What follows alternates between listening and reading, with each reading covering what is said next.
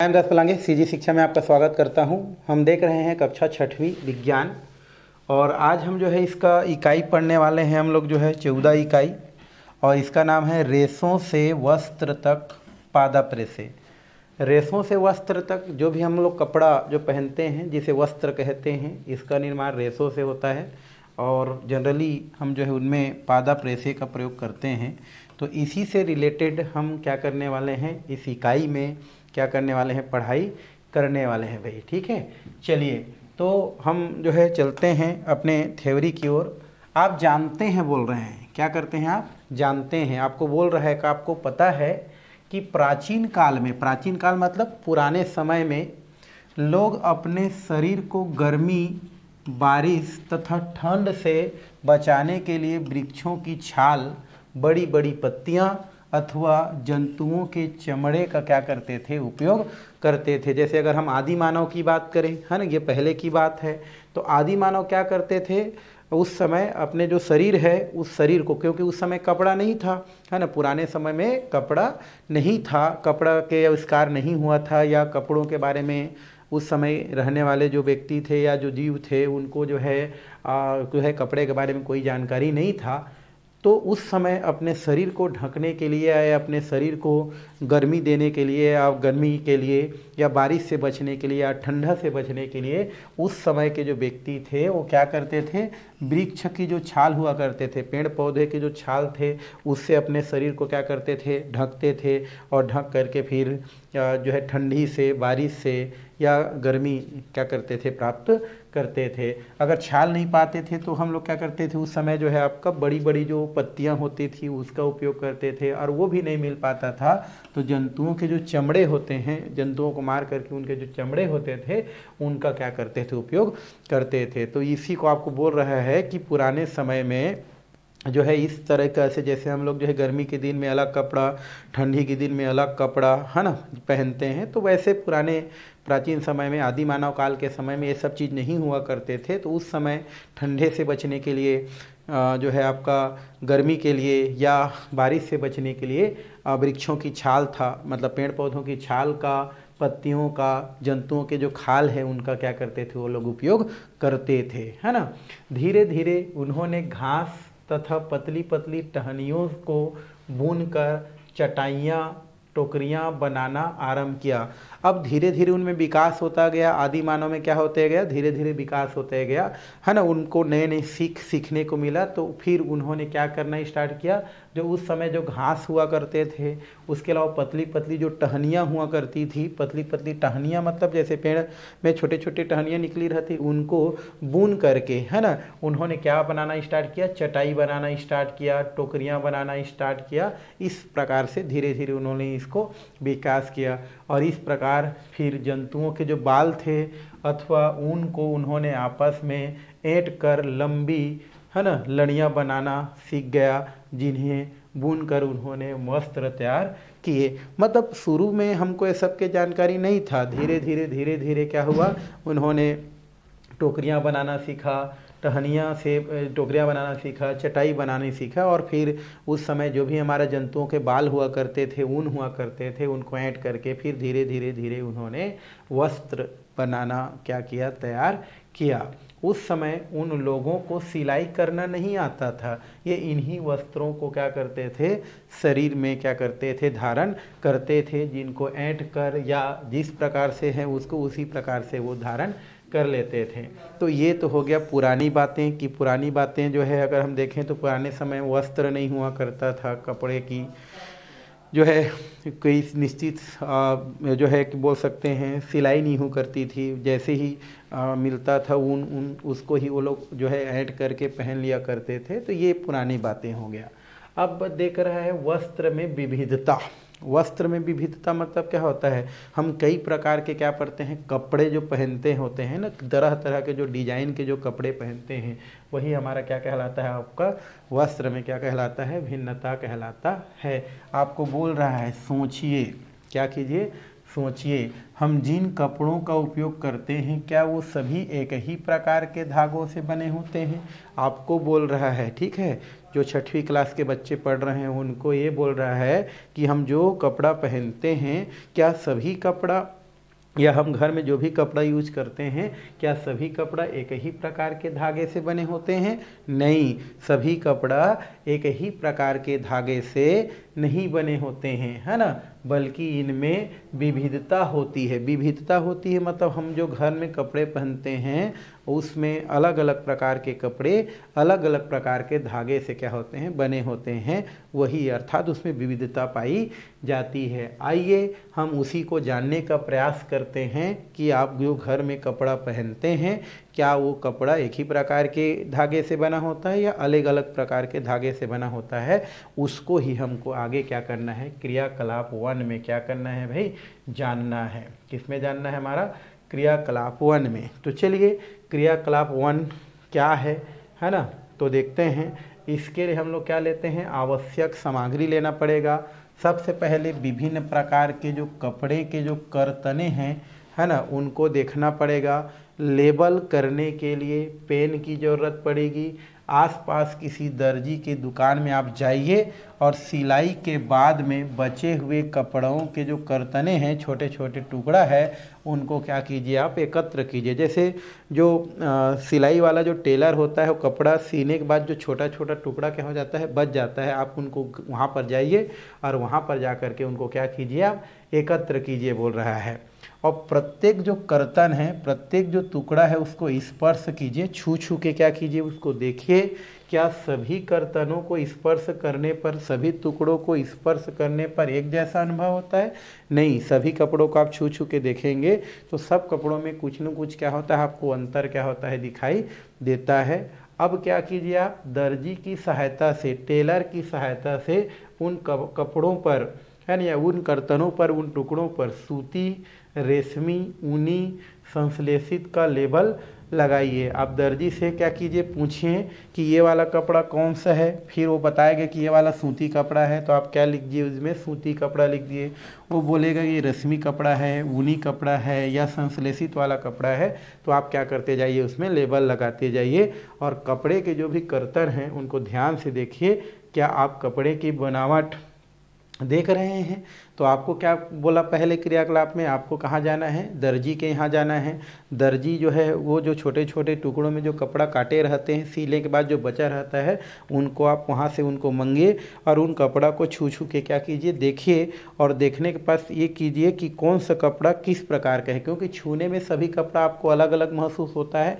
तो आप दर्जी की सहायता से, टेलर की सहायता से उन कपड़ों की जो भी स्थिति है, उसके बारे में पूछिए और उन कपड़ों को फिर क्या कीजिए, आप जो है, उन पर जो है, उनको लिख दीजिए कि ये ऊनी कपड़ा है, ये हमारा सूती कपड़ा है, इस प्रकार से। और फिर आप देखें कि वो जो कपड़े हैं, उसका बुनावट कैसा हुआ है, उस कपड़ों में वो बुना कैसे गया है, किस प्रकार से बुना गया है, उनको भी आप वहाँ पर क्या कीजिए, देखिए बोल रहे हैं। तो चलिए, कपड़ों की बुनावट कैसे होती है वो हम लोग क्या करते हैं देखते हैं। पहली स्थिति में तो हमने देखा कि कपड़ा कौन कौन से प्रकार का हो सकता है तो सूती हो सकता है आ, उसके अलावा आपका क्या हो सकता है आपका रेशमी हो सकता है ऊनी हो सकता है कई प्रकार के संश्लेषित वाला कपड़ा हो सकता है। चलिए आपने पहले आप कपड़ा का वेराइटी पढ़ लिया। आगे हम लोग देखेंगे क्रियाकलाप टू में। इसमें क्या बोल रहा है? आवश्यक सामग्री फिर से लेंगे आपको करके देखने के लिए। आपको लेना है सूती के कपड़े का जो कर्तन है मतलब टुकड़ा है उसको, और सुई लेंगे। और सूती के कपड़ों की कर्तन लीजिए, और इसके सिरे पर स्थित एक ढीले धागे, अर्थात दो तागे होता है को ढूंढकर उसे बाहर खींचिए। यदि कोई ढीला धागा न मिले तो सुई की सहायता से या पिन की सहायता से एक ढीला धागा खींचकर बाहर निकाल लीजिए। आपको क्या बोल रहा है? मान लो ये सूती कपड़ा इस प्रकार से क्या हुआ है? बुना है। इस प्रकार से क्या गया है? बुना गया है। तो आप क्या कीजिए बोल रहे हैं उसको? पहले तो आप सूती कपड़ा के कर्तन लीजिए और उसको फिर सुई की सहायता से या पिन की सहायता से एक दो धागा है जो ढीला है, उसको आप क्या कर लिए?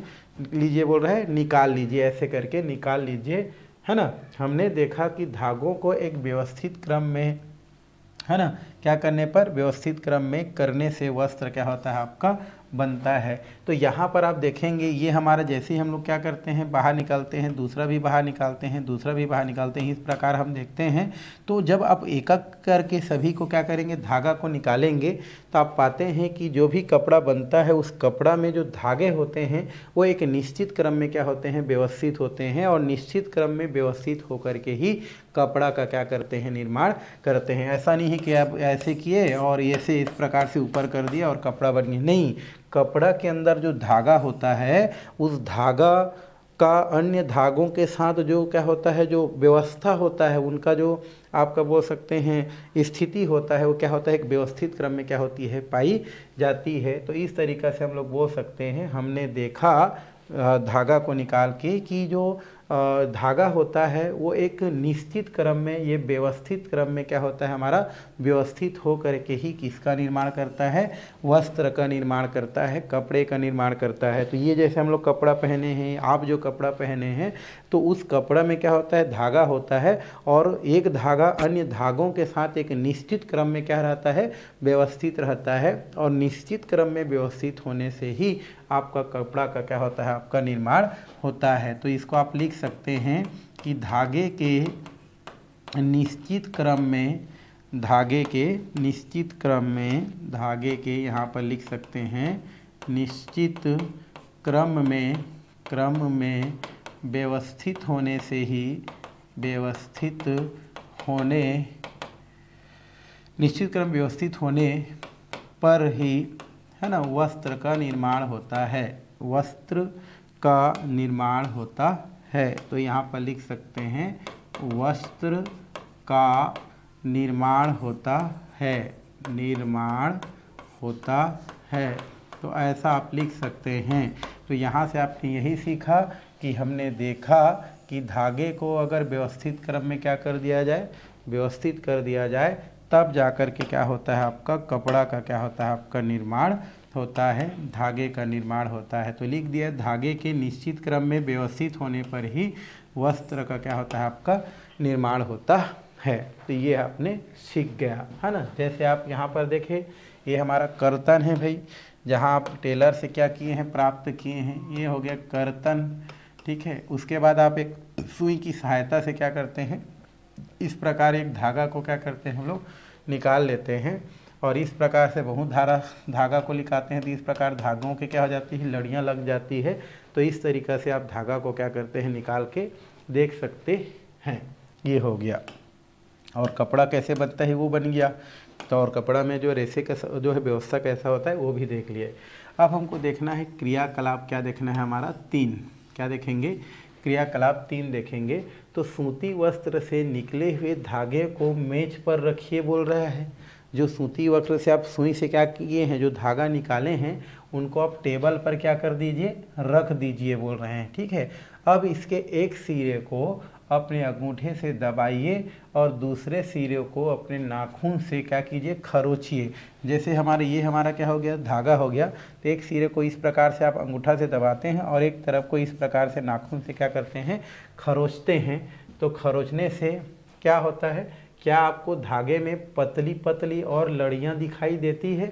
हाँ जब हम क्या करते हैं, धागा के एक सिरा को इस प्रकार करते हैं और दूसरे सिरा को इस प्रकार से नाखून से अगर खरोचते हैं तो उस नाखून नाखून से जिस सिरे से हम खरोच रहे हैं, उस पर अगर बहुत सारी पतली पतली क्या दिखाई देती है? अगर लड़ियाँ दिखाई देती है तो सुई में धागा डालते समय आपने कई बार देखा होगा कि धागे का सिरा कुछ पतली लड़ियों में पृथक हो जाती है और उस समय धागे को सुई के छेद में से बाहर निकालना कठिन हो जाती है। धागे की यह पतली पतली लड़ियाँ और अधिक पतली पतली लड़ियों से मिलकर बनी होती है, जिन्हें रेसे के नाम से क्या की जाती है, जानी जाती है। आपने जैसे घर में सुई भी सुई में तो धागा करते हैं, जब लगाते हैं तो आप देखे होंगे कि उस धागा को अगर हम क्या करते हैं, इस प्रकार से नाखून से कर देते हैं तो उस धागा के अंतर्गत और भी बहुत सारे क्या होती है छोटी छोटी क्या होती है, धागा होती है। और उसको अगर डायरेक्टली अगर हम सुई में अगर एक बार से एक तरफ़ से दूसरे तरफ़ अगर घुसाना चाहें तो नहीं घुस पाती इसलिए हम लोग थोड़ा सा क्या करते हैं, उसको पानी की सहायता से या लिक्विड की सहायता से उसको एकदम पतली करके हम सुई की में क्या करते हैं? घुसाते हैं। अगर हम उसको क्या करते हैं? इधर नाखून से रब कर देते हैं तो उस स्थिति में क्या होता है? वो जो है आपका कई और जो है छोटी छोटी पतली पतली लड़ियों में क्या हो जाता है? विभक्त हो जाता है। तो उसी को बोल रहा है कि कोई भी जो धागा होता है, धागा जो होता है, वो एक धागा वैसे ही, है ना, कई छोटे छोटे जो लड़ियाँ होती है, उससे मिल करके क्या होती है? आपकी बनी होती है। तो इसमें यही चीज़ आपको दिया गया है कि उस समय धागे को सुई में छेद में बाहर निकलना कठिन हो जाता है। धागे की ये पतली पतली लड़ियाँ और अधिक पतली पतली लड़ियों से मिलकर बनी होती है और वही लड़ियाँ आपकी क्या कहलाती है? रेसे या तंतु कहलाती है। मतलब कोई भी जो धागा होती है, उस धागा को अगर हम देखें तो उस धागा के अंदर और बहुत सारे छोटी छोटी क्या होती हैं, आपकी पतली पतली लड़ियाँ पाई जाती है और वो लड़ियाँ ही आपकी क्या कहलाती है? आपकी रेसे या तंतु कहलाती हैं या रेसे या तंतु के नाम से क्या की जाती है जानी?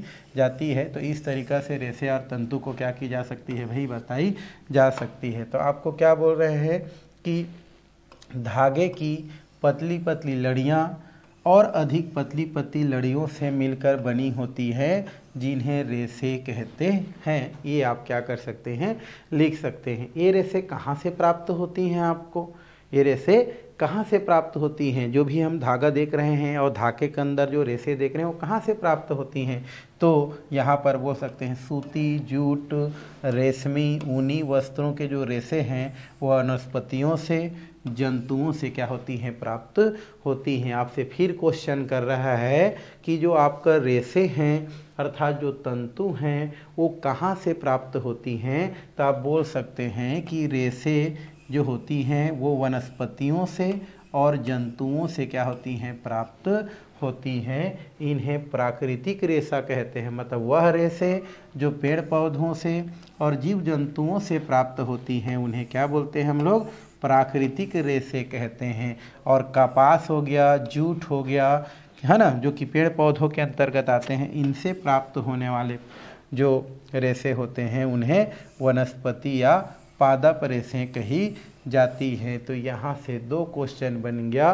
प्राकृतिक रेसे क्या हैं? तो वनस्पति और जंतुओं से प्राप्त होने वाले रेसे को प्राकृतिक रेसे कहते हैं।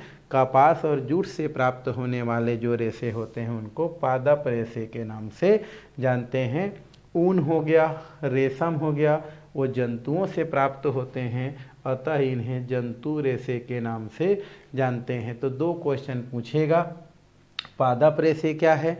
तो ऐसा रेशा जो हमको पेड़ पौधों से प्राप्त होता है, उन्हें हम पादप रेसे कहते हैं। है ना? जैसे आपका बोल सकते हैं जूट, कपास, ये सब क्या है? पादप रेसे हैं। और वे रसे जो हमको जंतुओं से प्राप्त होता है, उन्हें हम जंतु रेसे कहते हैं। तो यहाँ से आप क्या लिख सकते हैं? पादप रेसे। पादप रेसे क्या है? तो लिख सकते हैं वह रेशा वह रेशा जो है ना? पेड़ पौधों से प्राप्त होते हैं। पेड़ पौधों से प्राप्त होते हैं। प्राप्त होते हैं। उसे उसे क्या बोलते हैं हम लोग जो है? पादप रेसे कहते हैं।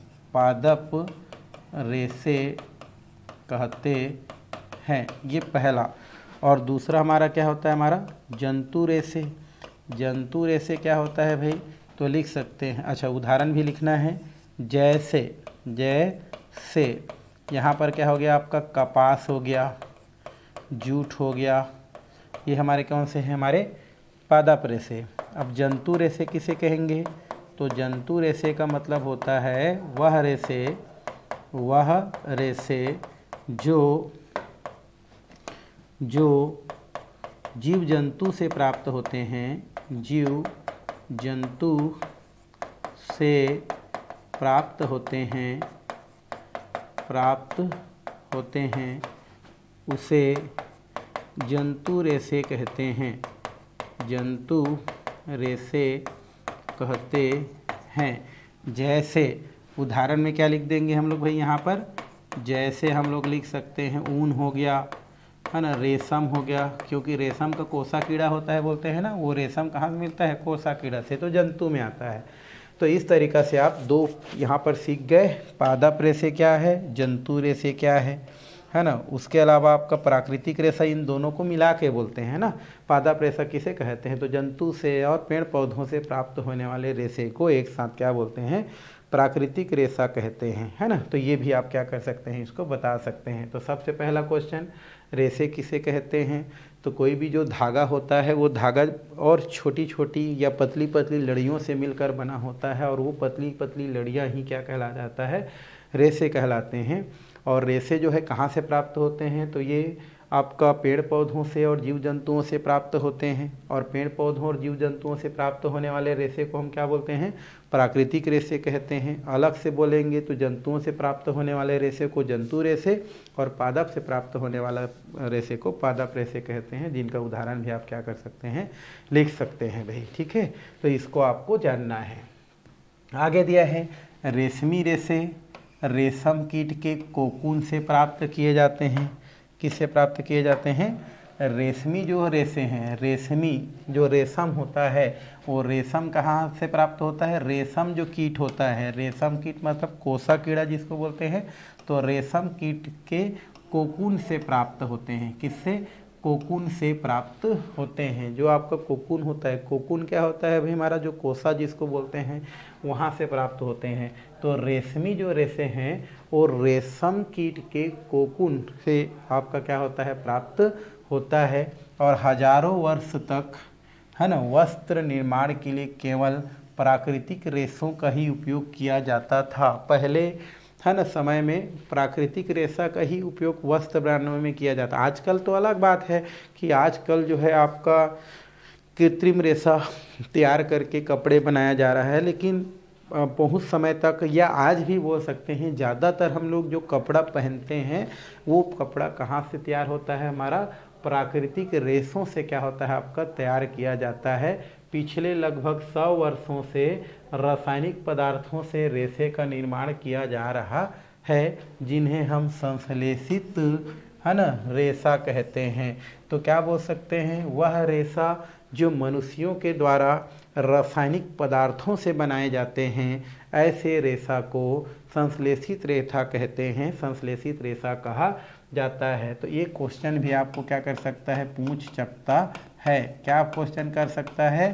संश्लेषित रेशा क्या है? तो वह रेशा वह रेशा वह रेशा जिसे, है ना, मनुष्य मनुष्य, है ना, लैब में प्रयोगशाला में बो सकते हैं, जिसे मनुष्य प्रयोगशाला में या लैब में बोल सकते हैं या फैक्ट्री में बोल सकते हैं, प्रयोगशाला में, है ना, विभिन्न प्रकार के विभिन्न प्रकार के रासायनिक पदार्थों से बनाया जाता है। तो वह रेशा जो जो मनुष्य, वह रेशा जो, है ना, विभिन्न प्रकार के, विभिन्न प्रकार के रासायनिक पदार्थ रासायनिक पदार्थ रासायनिक पदार्थ द्वारा द्वारा, है ना? प्रयोगशाला में बनाया जाता है। प्रयोगशाला में क्या किया जाता है भाई? बनाया जाता है, बनाया जाता है। क्या कहलाता है हमारा? संश्लेषित रेशा कहलाता है। संश्लेषित रेशा कहलाता है। संश्लेषित रेशा कहलाता है। तो इस तरीक़ा से बोल सकते हैं कि वह रेशा जो रासायनिक पदार्थों से क्या किया जाता है, बनाया जाता है, उसे हम क्या बोलते हैं? संश्लेषित रेशा कहते हैं, है ना? ओके। तो इस तरीक़ा से आप बता सकते हैं। जैसे टेरलिन संश्लेषित रेशा है, पॉलीएस्टर संश्लेषित रेशा है, नायलोन संश्लेषित रेशा है, एक्रिलिक संश्लेषित रेशा के कुछ क्या है हमारे? उदाहरण हैं। तो ये भी क्वेश्चन आपको पूछ सकता है कि संश्लेषित रेशा किसे कहते हैं? तो वह रेशा जो रासायनिक पदार्थों के द्वारा तैयार किए जाते हैं, ऐसे रेशे को संश्लेषित रेशा कहते हैं। उदाहरण के लिए टेरलिन, पॉलीएस्टर नैलॉन और एक्रिलिक है ना? या ये लिख सकते हैं कि वह रेशा जो विभिन्न प्रकार के रासायनिक पदार्थों द्वारा प्रयोगशाला में बनाए जाते हैं, उसे संश्लेषित रेशा कहते हैं। उदाहरण के लिए हम लोग क्या लिख सकते हैं भाई? टेरेलिन। टेरिलीन, ये हमारा क्या है? संश्लेषित रेशा है। लाइलॉन है ना? लाइलॉन कैसा रेशा है? संश्लेषित रेशा है। पॉलीएस्टर, कैसा रेशा है हमारा? संश्लेषित, आपका एक्रिलीन, एक्र, एक्रिलिक, ये हमारा क्या है? संश्लेषित आपका रेशा है। तो इसको आपको क्या करना है? ध्यान में रखना है। हम विभिन्न प्रकार के ऋतुओं में, ऋतु आप जानते हो? गर्मी, सर्दी, ये सब विभिन्न प्रकार की ऋतु होता है। जैसे बारिश, गर्मी में किस प्रकार के वस्त्र पहनते हैं, ये हम आगे क्या करेंगे? जानेंगे और क्यों पहनते हैं? है ना? आपको ये बोल रहा है कि हम गर्मी में कौन सा वस्त्र पहनते हैं? सर्दी में कौन सा वस्त्र पहनते हैं, ये हम लोग जो है जानते हैं। तो अलग अलग वस्त्र। चलिए, कुछ पादप रेसे देखेंगे आप। क्या देखेंगे कुछ? पादप रेसे ठीक है भाई? कुछ क्या देखेंगे हम लोग? पादप रेसे देखने वाले हैं। कुछ पादप रेसे देखें तो यहाँ पर लिख सकते हैं, ये रेसे पौधों से प्राप्त होते हैं। ज़ाहिर सी बात है पादप रेसे किसे कहेंगे? जो पौधों से प्राप्त होते हैं, उसे पादप रेसे कहते हैं। और इनका नाम भी संबंधित पौधों के अनुसार ही होता है।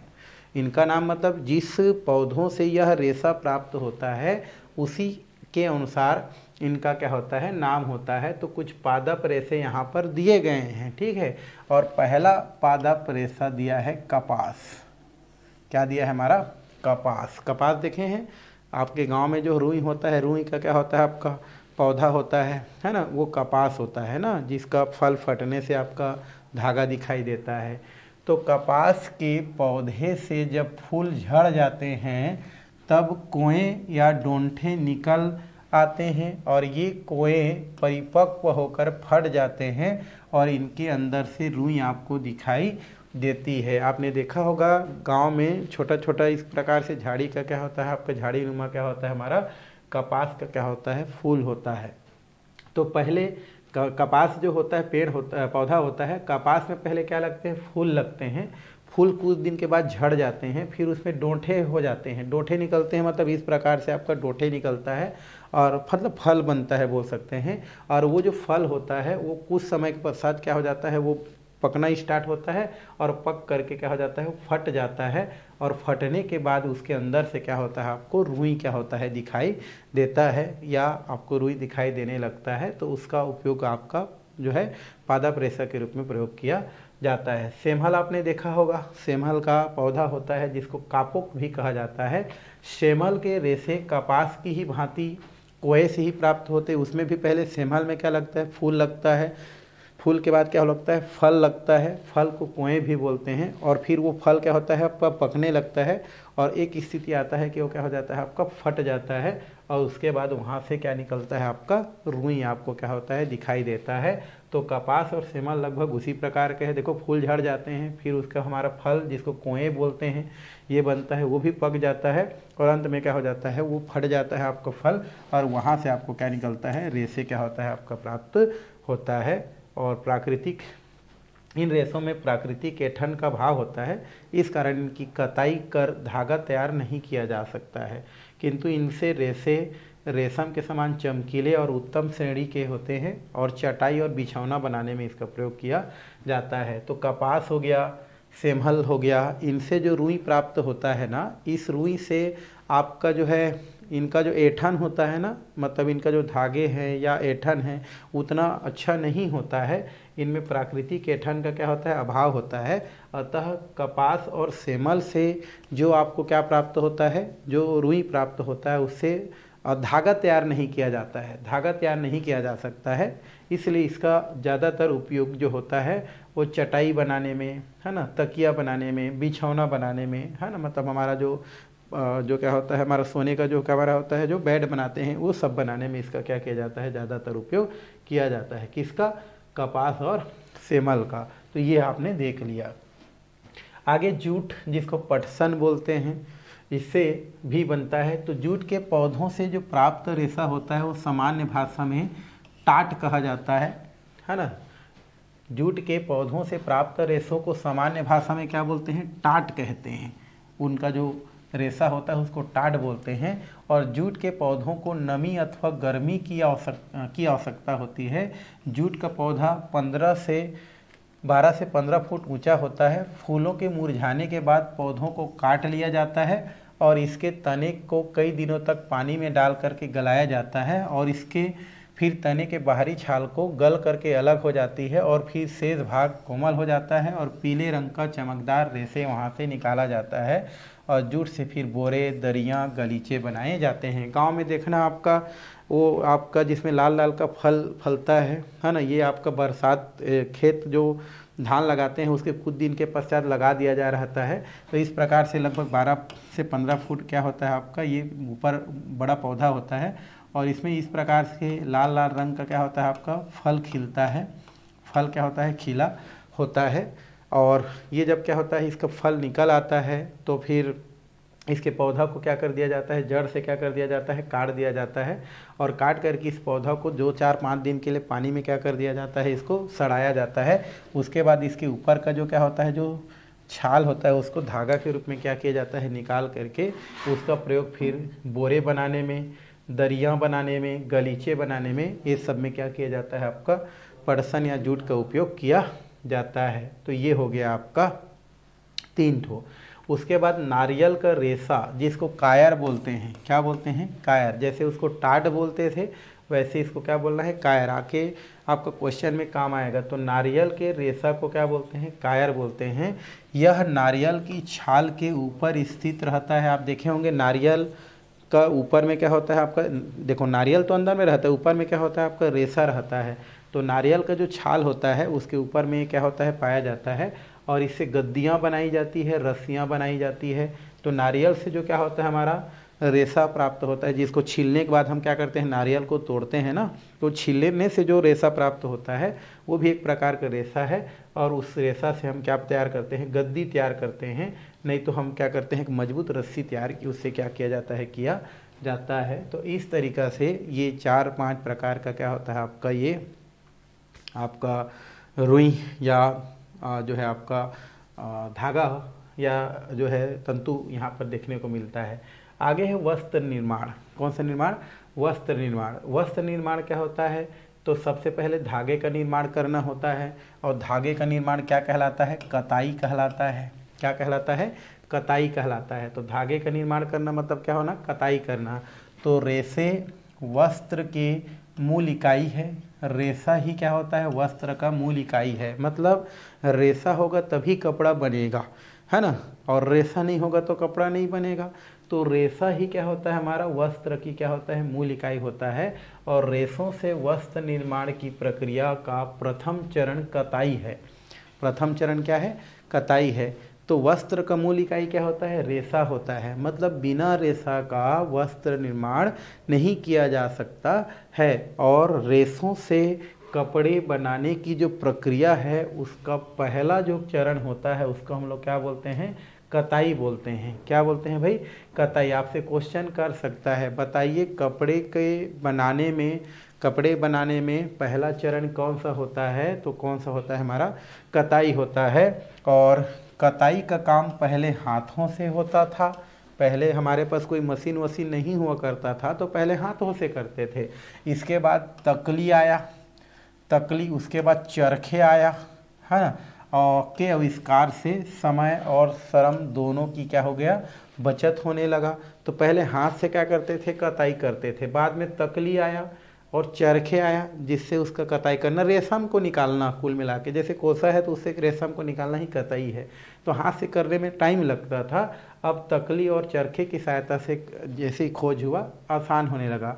औद्योगिक क्रांति में वस्त्र निर्माण के क्षेत्र में नए युग का आरंभ किया और रेशों को प्राप्त करना, उन्हें साफ़ करना, फिर धागा बनाना और अंत में धागों से वस्त्र बनाना, इन सभी कार्यों में अब अलग अलग प्रकार का मशीन क्या करने लगा, बनने लगा है और उन्हीं के द्वारा आजकल जो है क्या किया जा रहा है, आपका उपयोग हुआ जा रहा है। तो रेशों को धागों में बदलना ही क्या कहलाता है? कतई कहलाता है। जैसे मैं आपको बताया ना कि कोसा से धागा को क्या करना, अलग करना ही क्या कहलाता है? हमारा कतई कहलाता है। तो इसी को बोल रहा है कि रेशों से धागा को क्या करना, अलग करना ही क्या कहलाता है? कतई कहलाता है। तो आपको बहुत सारा चीज़ याद रखना है ना। पहला, वस्त्र का मूल इकाई क्या है? तो वस्त्र का मूल इकाई क्या है हमारा? रेशा है, ठीक है? और रेस, कपड़ा बनाने का प्रथम चरण कौन कहलाता है हमारा? कताई कहलाता है। तो कताई क्या होता है? तो रेशों को धागों में बदलना आपका क्या कहलाता है? कतई कहलाता है। और यह वस्त्र निर्माण का पहला क्या है? चरण है। और इसके बाद धागा का बुनाई के लिए तैयार समझा जाता है। तो आपको ये भी क्वेश्चन कर सकता है, वस्त्र निर्माण का पहला चरण क्या है? तो कताई है। और कताई क्या होता है? तो धागा से रेशा प्राप्त करना, रेशा से धागा प्राप्त करना ही क्या कहलाता है आपका? कताई कहलाता है। इसको आपको ध्यान में रखना है। ये देखो, चरखा आपको दिख रहा है भाई। इस चरखा के द्वारा क्या किया जाता है? आपका कतई वाला काम किया जाता है। ये चरखा है। महात्मा गांधी जी इसी पर दिखते हैं आपको। ठीक है? तो ये हो गया। अब हमको करना है बुनाई। करघे से बुनाई देखना है। करघे से क्या देखेंगे? बुनाई। बुनाई मतलब बुनना। अब रेशा निकल गया। रेशा कोसा से अलग अलग हो गया। सब रेशा अलग अलग हो गया, है ना? अब बुनाई करेंगे। तो आवश्यक आवश्यक सामग्री क्या होगा? दो रंग के कागज़ के सीट लगाना पड़ेगा। दो रंग के कागज़, आपका अलग अलग कागज़ है उसका सीट। कैंची चाहिए, पेंसिल चाहिए और भिन्न रंगों के दो कागज़ के सीट लीजिए। आपका आपको दो तीन चाहिए। दो कागज़ के सीट हो गया अलग अलग कलर का, कैंची और पेंसिल। अब क्या कीजिए? दो अलग अलग रंग का जो कागज़ है, उसका सीट को लीजिए।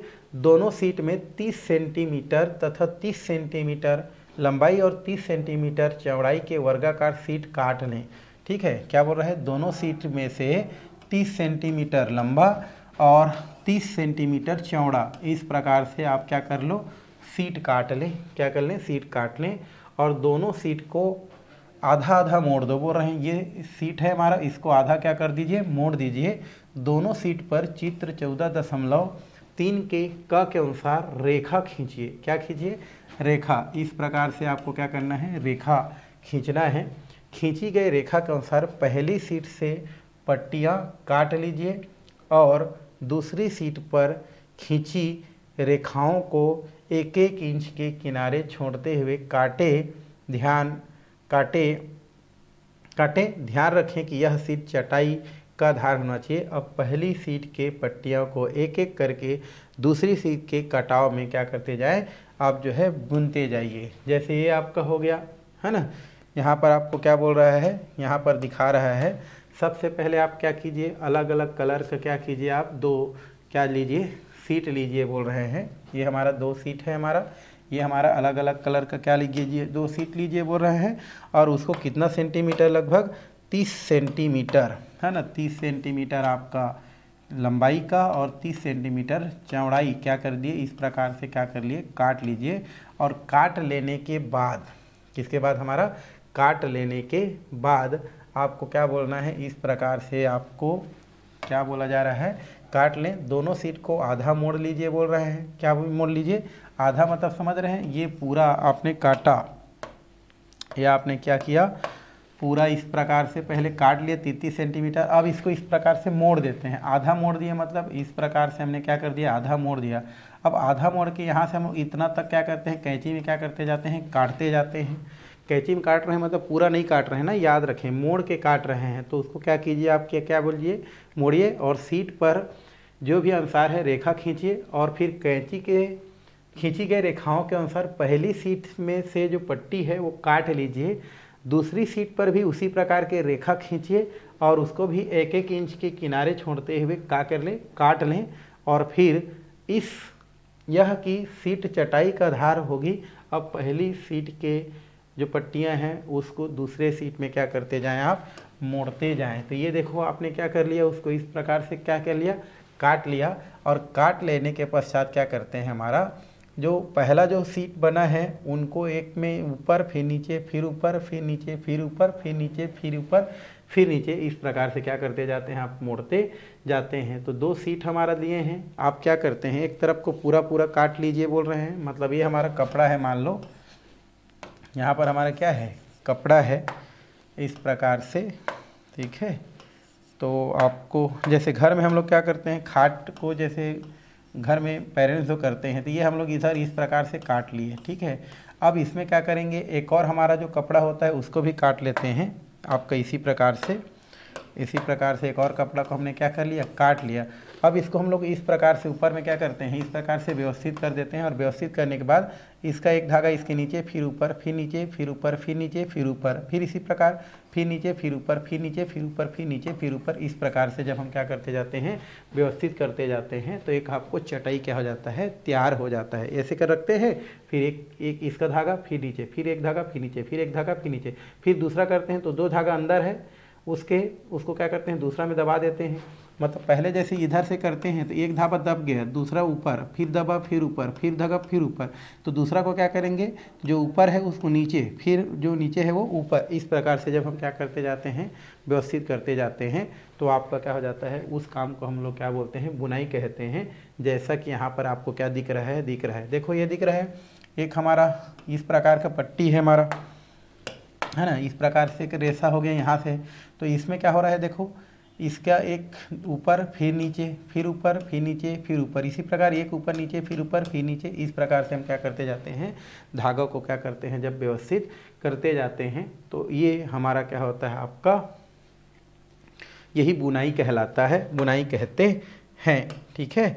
और आगे है क्रियाकलाप चार में दर्शाए अनुसार ही धागों के दो सीटों को बुनकर वस्त्र बुन जाते हैं और रेशों से निर्मित धागों ही वस्त्र के मुख्य आधार होता है। धागे वास्तव में कागज़ की पट्टियों की तुलना में बहुत पतले होते हैं। तो देखो, एक ऊपर, एक नीचे, एक ऊपर, एक नीचे।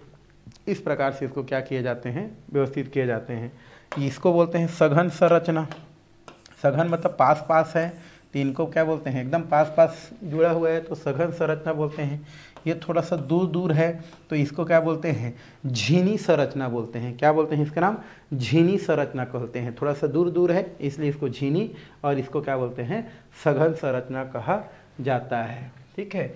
और धागों को लंबाई, चौड़ाई के आपस में गूंथ कर वस्त्र के रूप दिया जाता है। इस प्रकार से धागा को जब हम क्या करते हैं पास पास इस प्रकार से लंबाई और चौड़ाई को आपस में गूंथ करके अंत हो क्या हो जाता है, वस्त्र का निर्माण हो जाता है। और धागों से वस्त्र का निर्माण करने की अनेक क्या है? विधियाँ हैं, जिनमें से एक प्रमुख विधि है करघे से। किससे? करघे की बुनाई से भी आप क्या कर सकते हैं, वस्त्र बना सकते हैं। करघे या तो हस्तचलित होते हैं, अथवा आजकल लाइन से भी क्या होते हैं, ये चलते हैं। और वस्त्रों का निर्माण इसी विधि द्वारा क्या किया जाता है? प्रयोग किया जाता है। वस्त्र निर्माण के लिए लंबाई, चौड़ाई दोनों से धागे लगाए जाते हैं। लंबा में भी लगाए जाते हैं, चौड़ा में भी लगाए जाते हैं और धागों को ताना कहा जाता है। है ना? ऐसे लंबा आपका धागा लगाते हैं और आपका एक प्रकार से आपका चौड़ाई में धागा लगाया जाता है। तो कपड़ा बुनने के लिए क्या करते हैं हम लोग जो है? लंबाई और चौड़ाई दोनों ओर धागा लगाए जाते हैं। लंबाई में जो होता है, उस धागा को बोलते हैं ताना। मतलब इस प्रकार से मान लो ऐसा लंबा है है ना? लंबा वाला जो धागा है, उसको क्या बोलते हैं? ताना। क्या बोलते हैं उसको? ताना कहा जाता है।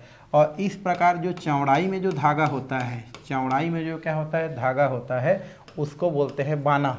उसको क्या बोलते हैं? बाना। तो एक साथ क्या बोलते हैं? ताना बाना। क्या बोलता है हमारा? ताना बाना।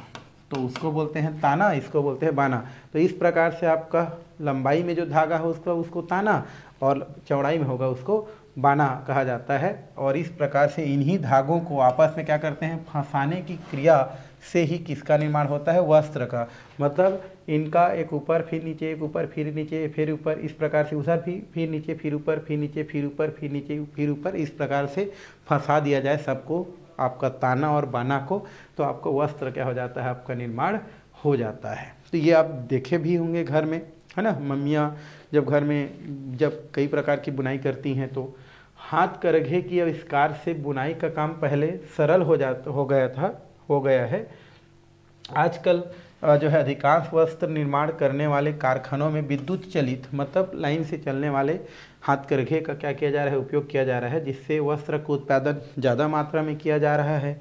और सादी बुनाई में लंबाई की ओर से यदि वस्त्र को देखा जाए तो ताने का पहला धागा बाने के ऊपर रहता है। ताने का पहला धागा मतलब ये ताना है वो बाना के ऊपर, फिर नीचे, फिर ऊपर, फिर नीचे, फिर ऊपर, फिर नीचे। इस प्रकार से क्या होता है, आपका पाया जाता है। फिर दूसरा, उसके नीचे, तीसरा, फिर ऊपर नीचे, पूरी ऊपर नीचे। इस प्रकार से वस्त्र का क्या होता है, आपका निर्माण होता है। तो यहाँ पर एक चीज़ हम देखा, ताना क्या है और बाना क्या है। आगे है सरलाइयों की से बुनाई। सरलाई मतलब बोलते हैं नीटिंग। सरलाई मतलब क्या होता है? नीटिंग। तो सरलानी, सरला, क्या बोलते हैं? सरलाइयों से बुनाई। तो बुनाई के अतिरिक्त नीटिंग भी वस्त्र निर्माण में क्या किया जाता है? महत्वपूर्ण क्या है? विधि है। आपने स्वेटर, जर्सी, कार्डिगन, बनियान आदि वस्त्र का उपयोग किया ही होगा। आप घर में क्या करते होंगे भाई? स्वेटर तो पहनते होंगे या पहने होंगे, जर्सी पहने होंगे, बनियान पहने होंगे। ये सब जो है, क्या होता है हमारा? नीडिंग के द्वारा किया जाता है। नीडिंग द्वारा तैयार किए गए वस्त्र होते हैं, ये सब चीज़ जो होते हैं। नीडेड कपड़ों में नीडेड कपड़ों में आवश्यकता अनुसार फैलने और सिकुड़ने की क्षमता होता है। जो नीडेड कपड़ा होता है है ना? उस नीडेड कपड़ों में गुण होता है। वो फैल भी सकता है, सिकुड़ भी सकता है। मतलब फैलने की, सिकुड़ने की क्षमता किन में पाया जाता है? नीडेड जो कपड़ा होता है, उस नीडेड कपड़ा में फैलने और सिकुड़ने की क्या होती है? आपकी क्षमता क्या होती है? पाई जाती है। ये कहीं फैल कर कहीं सिकुड़ कर शरीर में आसानी से क्या हो जाती है? फिट हो जाती है। है ना? फ्लेक्सिबल होती है। इसलिए खेल के क्षेत्र में, खेल जो खिलाड़ी होते हैं, इसी वस्त्र को क्या करते हैं? उपयोग में लाते हैं। आइए इसे समझने के लिए कुछ रोचक क्या करते हैं? क्रियाकलाप करते हैं। और ये क्रियाकलाप कितना है? छः, पाँच है। इसके लिए आपको आवश्यक सामग्री लेना पड़ेगा। ये आवश्यक सामग्री है। बुनाई की विधि से बना एक सूती कपड़ा, जैसे रुमाल निटिंग की विधि से बना एक सूती कपड़ा जैसे मोजा दोनों कपड़ों को एक एक करके लंबाई और चौड़ाई में खींचिए। आपने देखा होगा कि कौन ज़्यादा खिंचाएगा, कौन सा वस्त्र ज़्यादा फैलता है? तो नीडिंग वाला जो वस्त्र है, वो क्या होता है आपका? ज़्यादा फैलता है, क्या वह वस्त्र फैलने के बाद फिर से पहले जैसा हो जाता है? यस नीडिंग वाला जो वस्त्र होता है, एक बार खींचोगे तो फैल जाता है और छोड़ोगे तो फिर से अपनी पुरानी स्थिति में वापस आ जाता है। अब बारी बारी से हैंड लेंस से अवलोकन करके पहचान करें कि रेसे वस्त्र में किस किस प्रकार से क्या होता है, व्यवस्थित होता है। तो हैंड लेंस से अवलोकन कर पहचान करें कि रेसे वस्त्र में किस प्रकार व्यवस्थित होते हैं या रेसे जो है वस्त्र में कैसे व्यवस्थित होते हैं कि वो नीडिंग की तरह व्यवहार करते हैं और किस प्रकार व्यवस्थित होते हैं कि नीडिंग की तरह व्यवहार नहीं करते हैं। तो कुल मिला के रेसों को व्यवस्थित करने का ढंग है, उनको किस प्रकार से व्यवस्थित करें कि वो नीडिंग जैसा व्यवहार करें और किस प्रकार से व्यवस्थित करें कि वो आपका जो है सिंपल कपड़े की तरह व्यवहार करें। ये देखो, अगर इस प्रकार से वस्त्रों की क्या होगा, बुनावट होगा तो उसको हम लोग बोलते हैं क्या? नीडिंग क्या बोलते हैं? नीडिंग दोनों ओर से। ये देखो, आपका फ्लेक्सिबल रहेगा ही इस प्रकार। इसका बनावट ही क्या होता है आपका? ऐसा होता है, या इसमें धागे इस प्रकार से क्या होते हैं आपके? व्यवस्थित होते हैं। यही इस प्रकार से व्यवस्था से ही वह जो हमारा क्या होता है, जो वस्त्र होता है, वो नीडिंग की तरह फ्लेक्सिबल की तरह क्या करता है? व्यवहार करता है। और करघे की बुनाई की विधि से तैयार किए गए वस्त्र में ताना बानों की धागे समकोण पर मिलते हैं। कहाँ पर मिलते हैं हमारे? समकोण पर मिलते हैं। इससे वस्त्र को लंबाई या चौड़ाई की दिशा में खींचा या फैलाया जाए, यह ज्यों के त्यों रहते हैं। यदि करघे की बुनाई से अगर ये तैयार किया जाए कपड़ों का ना तो उसमें खिंचाव नहीं रहता है। वह वैसा का वैसा ही रहता है। परंतु सलाइयों से बुनाई, नीडिंग से अगर क्या किया जाए, उसको बुना जाए तो वह जो वस्त्र होता है, वो फंदे के भीतर से फंदा।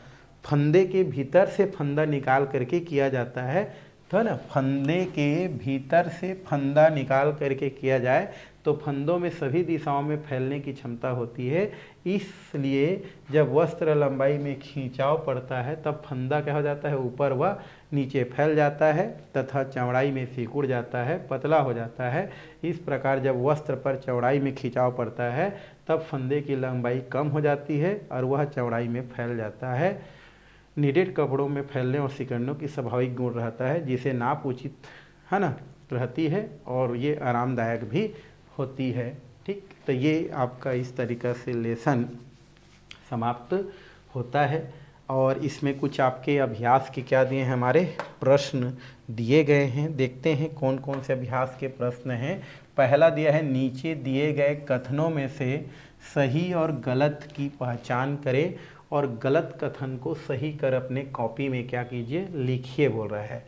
इसमें पहला दिया है दरिया गलीचे बनाने में मुख्यतः जूट का प्रयोग किया जाता है। यस दरिया हो गया गलीचे हो गया है ना?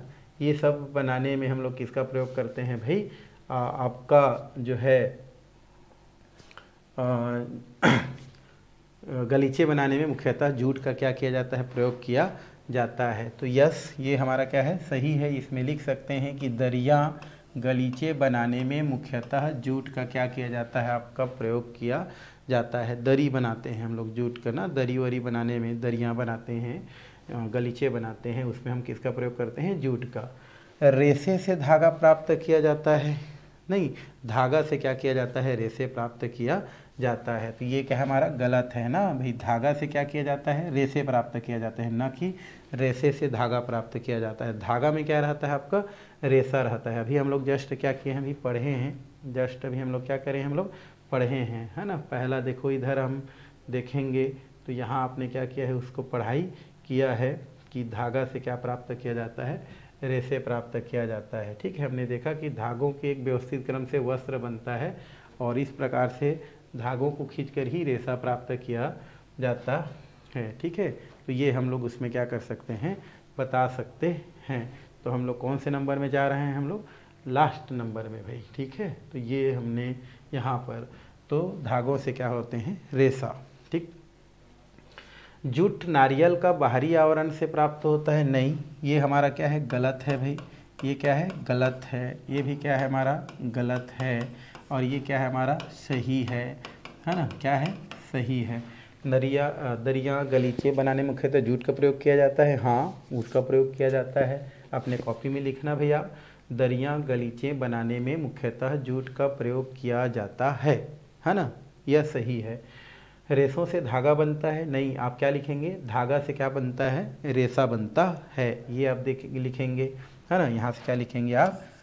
धागा से क्या बनता है? रेसा बनता है। ऐसे लिखेंगे। ठीक है भाई? धागा से क्या बनता है? रेसा धागा से ये उत्तर है ना? रेसा बनता है। रेसा बनता है। है ना? धागे से क्या बनता है? रेसा बनता है। रेसा बनता है। ओके। फिर क्या बोल रहे हैं? जूट नारियल के बाहरी आवरण से प्राप्त होता है? नहीं। आप लिख सकते हैं जो जूट नारियल का बाहरी आवरण से प्राप्त नहीं होता है, बल्कि जो है जूट जो होता है, पटसन, है ना? जूट नारियल के बाहरी आवरण से प्राप्त होता है नहीं तो जूट नारियल के बाहरी आवरण से प्राप्त नहीं होता है, बल्कि एक पटसन जो होता है, उसका पौधा होता है, वहाँ से क्या होता है, ये प्राप्त होता है। फिर घ नंबर, रेशम, रेशा किसी पौधों के तने से प्राप्त किया जाता है, रेशम रेशा नहीं रेशम रेशा किसी पौधों के तने से प्राप्त नहीं किया जाता है, बल्कि रेशम कीट से प्राप्त किया जाता है। किससे प्राप्त किया जाता है भाई? रेशम कीट से, है ना? तो लिख सकते हैं, रेशम रेशा, है ना? रेशा, रेशम रेशा, यहाँ पर लिख सकते हैं आप। रेशम, रेशा, रेशम कीट से प्राप्त किया जाता है। रेशम कीट से प्राप्त किया जाता है। प्राप्त किया जाता है। और ये जूट जूट जूट, है ना? पटसन के पौधों से, पटसन के पौधों के छालों से प्राप्त किया जाता है। छालों से प्राप्त किया जाता है है ना? ऐसे लिख सकते हैं। पॉलीएस्टर एक प्राकृतिक रेशा है, नहीं, है ना? उत्तर में क्या होगा? पॉलीएस्टर एक संश्लेषित रेशा है। पॉली एस्टर एक संश्लेषित रेशा है है ना? कौन सा रेशा है? संश्लेषित रेशा है। तो ये आप क्या करेंगे? अपने कॉपी में लिखेंगे भी। कि पॉलीएस्टर जो होता है वो प्राकृतिक रेशा नहीं होता है, बल्कि कैसा होता है वो संश्लेषित रेशा होता है। ठीक, ये हो गया। आगे हमारा दिया है रिक्त स्थानों की पूर्ति कीजिए। रिक्त स्थान की पूर्ति कीजिए बोल रहे ना? तो पहला कायर, है ना? नारियल के पेड़ से प्राप्त होता है। किससे भाई हमारा? नारियल। नारियल के पेड़ से प्राप्त होता है। रेशों को धागा में बदलना। रेशों को धागा में बदलना। रेशों को धागा में बदलना क्या कहलाता है हमारा? बुनाई कहलाता है। क्या कहलाता है हमारा? बुनाई। ठीक है तो रेशों को धागा में बदलना। हाँ ये ठीक है भाई, ठीक है। यहाँ पर उस हिसाब से ये ठीक होगा फिर।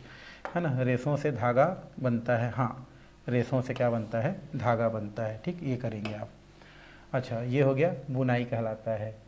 खाली स्थान और खाली स्थान से पादप रेशे प्राप्त किए जाते हैं। जैसे आपका, आप बोल सकते हैं, जूट हो गया, पटसन बोल सकते हैं। ठीक है? किससे हम लोग? पटसन। नहीं, कपास कर देते हैं यहाँ पर। कपास हो गया और ये पटसन हो गया। इनसे हम क्या करते हैं? पादप रेशे प्राप्त करते हैं। नैलॉन कैसा है? संश्लेषित रेशा है। कैसा रेशा है? संश्लेषित रेशा है तो खाली स्थान भी आप क्या कर सकते हैं, बना सकते हैं। इनके उत्तर दीजिए बोल रहा है। निम्नलिखित प्रश्नों के उत्तर है। जूट किस तरह प्राप्त किया जाता है भाई? तो आपको वहाँ पर लिखा है ना कि सबसे पहले जो जूट होता है मतलब जो पटसन का जो क्या होता है, जो पौधा होता है, उस पौधा को हम क्या करते हैं? काटते हैं। फिर उसको हम क्या करते हैं? दो, चार, पाँच दिन के लिए उनके पौधा को पानी में क्या करते हैं? सड़ाने के लिए छोड़ देते हैं। और उसके बाद फिर सड़ने के बाद उसके बाहरी जो हमारे छिल जो सीरा है मतलब बाहरी जो छिलका है उसको, या बाहरी जो भाग होता है, उससे हम लोग क्या करते हैं, फिर रेशम को क्या करते हैं, हम लोग प्राप्त करते हैं। तो ये लिख सकते हैं, जूट किस प्रकार से प्राप्त किया जाता है?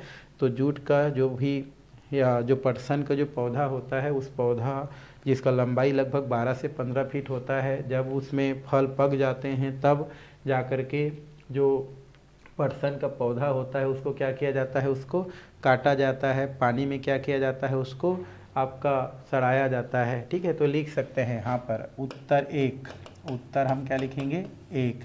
तो लिख सकते हैं, जूट जूट पटसन पटसन के पौधों से पौधों से प्राप्त किया जाता है। प्राप्त किया जाता है। इसके लिए इसके लिए पटसन के पटसन के पौधों को पौधों को काट कर काट कर पानी में पानी में दो तीन दिन के लिए, दो तीन दिन के लिए दिन के लिए सड़ाया जाता है। सड़ाया जाता है। सड़ाया जाता है।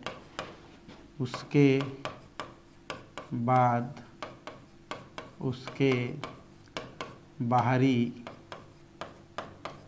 छाल से छाल से रेशा प्राप्त किया जाता है। प्राप्त किया जाता है। ये हो गया। दूसरा, जूट हो गया। नीटेड कपड़ों की विशेषता क्या है? तो आप लिख सकते हैं, उत्तर दो। अभी जस्ट पढ़े हैं। नीटेड नी टेड कपड़ों में कपड़ों में फैलने फैलने और सिकुड़ने सिकुड़ने सिकुड़ने का गुण होता है, का गुण होता है या विशेषता होता है, का विशेषता होता है।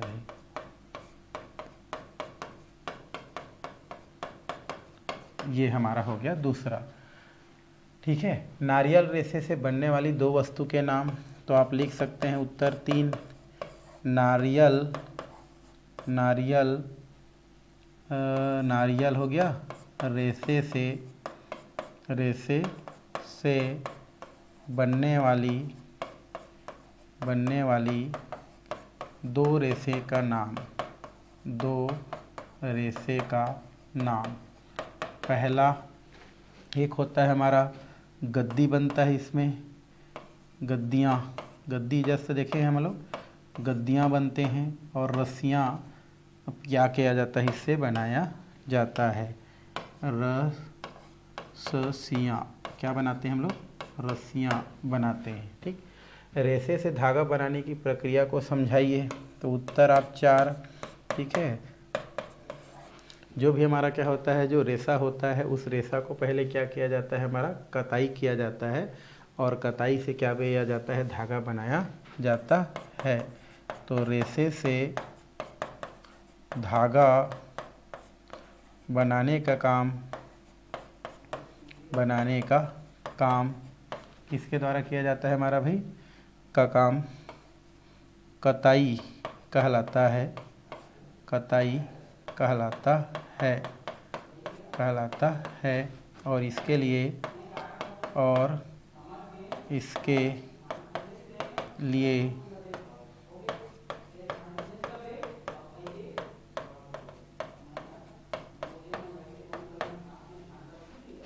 चरखे का उपयोग किया जाता है। ये हो गया। और मौसम के अनुकूल वस्त्र का चुनाव किस आधार पर करते हैं भाई? तो मौसम के अनुकूल वस्त्र का जो चुनाव होते हैं, वो आपका मौसम के अनुकूल वस्त्रों का चुनाव किस आधार पर करते हैं? तो जैसे सर्दी, गर्मी, इस आधार पर इसका प्रयोग करते हैं, ठीक है? तो ये लेसन आपका क्या हो गया? समाप्त हो गया। तो आज का हम लोग क्लास यहीं पर क्या करते हैं? समाप्त करते हैं भाई।